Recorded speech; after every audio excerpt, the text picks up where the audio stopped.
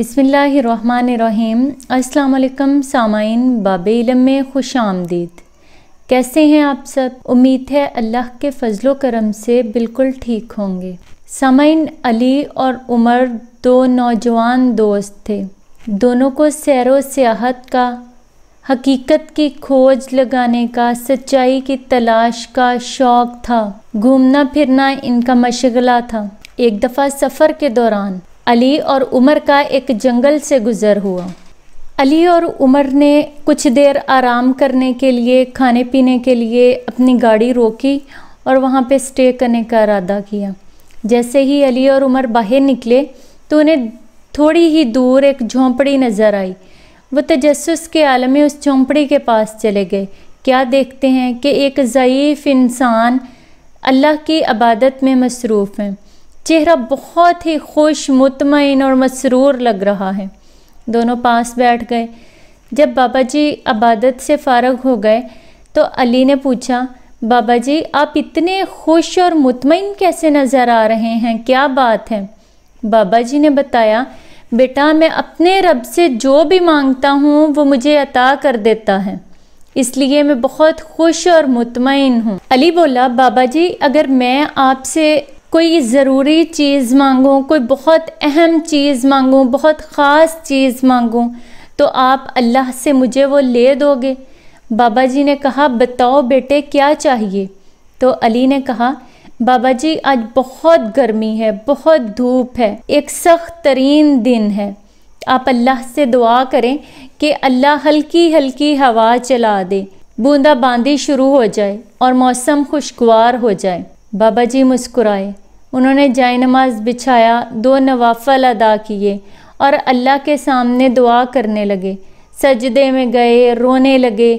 کبھی اپنے سر کو زمین پر پٹکتے، سجدے میں جاتے، کبھی اٹھتے، پھر روتے۔ روتے روتے بابا جی کی ہچکی بند گئی۔ اب وہ زاروں قطار رو رہے تھے، اتنی شدت سے رو رہے تھے کہ وہ کیا مانگ رہے ہیں؟ علی اور عمر کو سمجھ نہیں آ رہا تھا۔ بابا جی کا رونا اور شدت اختیار کرتا گیا۔ علی اور عمر بیٹھے دیکھ رہے تھے۔ پھر اچانک کیا ہوا؟ اچانک ہلکی ہلکی سی ہوا چلنے لگی اور بوندا باندی شروع ہو گئی۔ بابا جی نے علی اور عمر کی طرف دیکھا اور مسکرائے۔ بولے، دیکھا، میں نے اللہ سے لے لیا نا جو میں چاہتا تھا۔ علی اور عمر بہت حیران ہوئے، پریشان ہوئے اور بابا جی سے بولے بابا جی ایسا کون سا فارمولہ آپ کے پاس ہے؟ کہ آپ اللہ سے جو چاہتے ہیں مانگ لیتے ہیں اور وہ رب آپ جو مانگتے ہیں آپ کو عطا کر دیتا ہے؟ سامعین، بابا جی نے کیا فارمولہ بتایا؟ یہ جاننے سے پہلے اگر آپ باب علم پر نئے ہیں تو سبسکرائب کریں اور گھنٹی کے بٹن کو پریس کریں تاکہ باب علم کی ہر نئی اپلوڈ ہونے والی ویڈیو کا نوٹیفیکیشن آپ کو مل سکے۔ سامعین ویڈیو لائک کریں اور کمنٹ میں اپنی رائے کا اظہار کرتے رہا کریں۔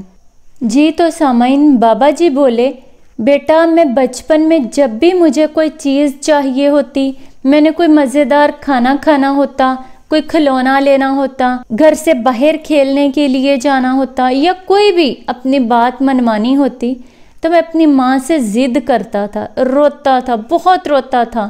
یہاں تک کہ میری ماں کو مجھ پر پیار آ جاتا۔ میری ماں میری خواہش پوری کر دیتی، مجھے اٹھاتی، مجھے چومتی، پیار کرتی۔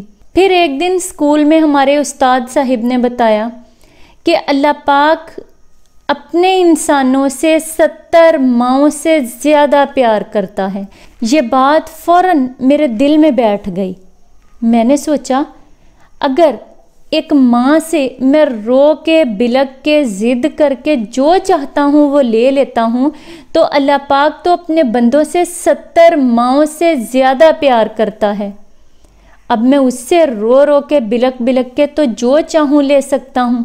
یہ انسو ہی بیٹا فارمولہ ہے۔ اور وہ دن اور آج کا دن۔ میں اپنے رب سے جو مجھے چاہیے ہوتا ہے۔ روتا ہوں گڑ گڑاتا ہوں بلکتا ہوں، ضد کرتا ہوں اصرار کرتا ہوں۔ یہ آنکھیں بہتی ہیں۔ ان آنکھوں سے آنسو بہتے ہیں۔ یہاں تک کہ وہ رب مان نہیں جاتا۔ وہ رب مجھے نواز نہیں دیتا۔ بیٹا، آنسو ہی ہیں۔ ان آنکھوں سے بہنے والے آنسو ہی ہیں۔ دعا قبول کروانے کا بہترین فارمولہ سامعین، اس پاک پروردگار کا فرمان ہے۔ میرے بندے، تم میری طرف ایک قدم بڑھا، میں تیری طرف دو قدم بڑھاؤں گا۔ تم میری طرف چل کے آ، میں تیری طرف دوڑ کے آؤں گا۔ سامعین، اس پاک پروردگار کے رحمت تو بہت وسیع ہے۔